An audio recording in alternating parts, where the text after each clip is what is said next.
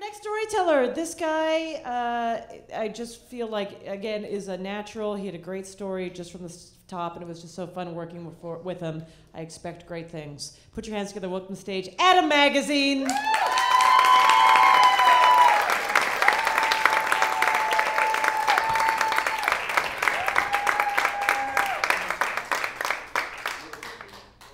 I am not an athlete.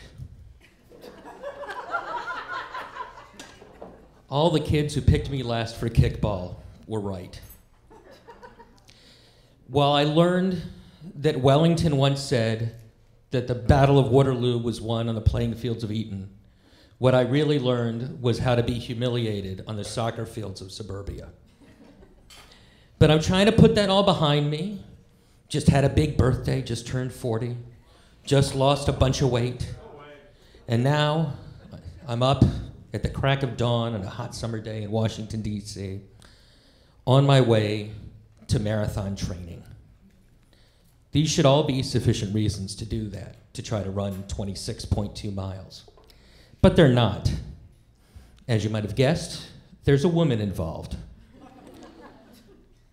Molly and I had become pretty close in the previous four or five months but not close enough for my tastes.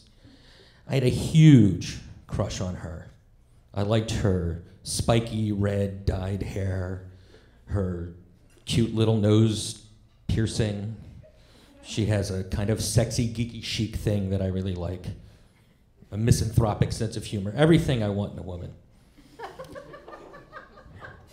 so one day, I, we're talking at a party, and she says that that day she'd run a half marathon.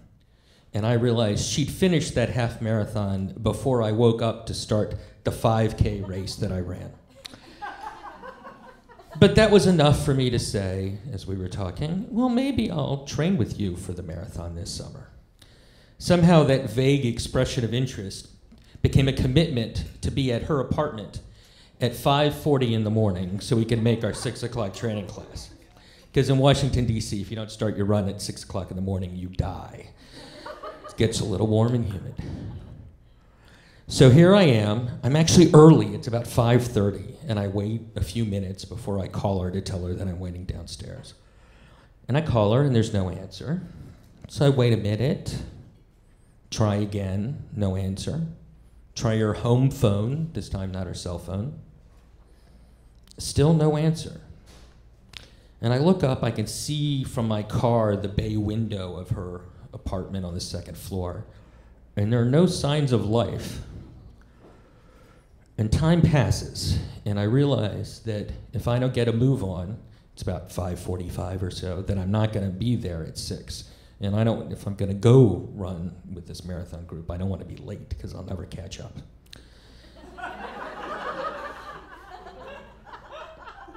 so I'm I'm a little unhappy. In fact, I'm a lot unhappy that Molly doesn't seem to be waking up this morning. It turns out she'd had too much to drink the night before with a friend of hers, a childhood friend named Piper.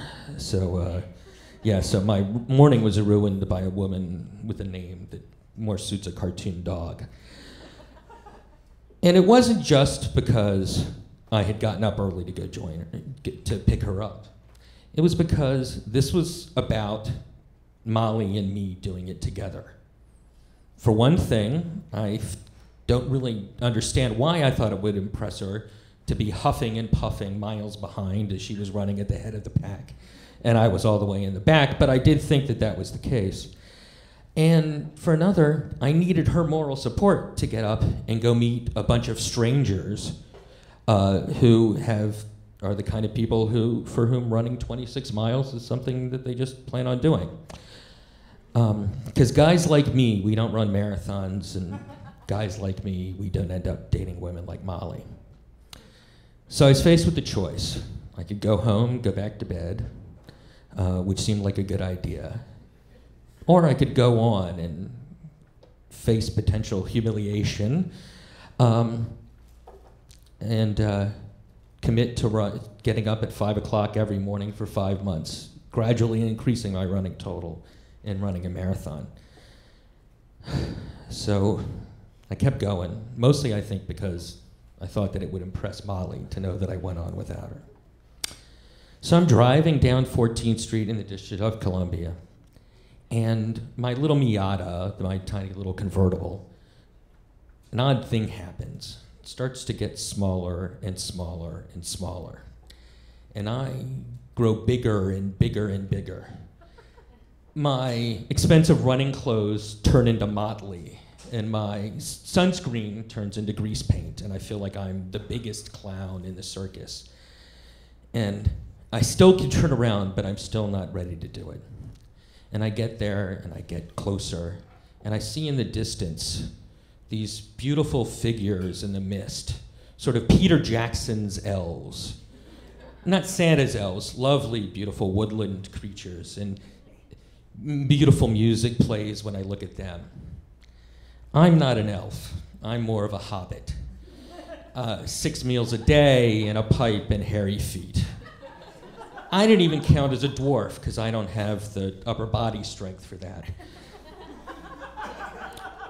And I see them and I open the door of my car reluctantly and I walk over and I'm still thinking, well, maybe I can turn around. And I get there and I see these strangers and I see them looking at me and I say, Is this where you go to run a marathon? Thank you.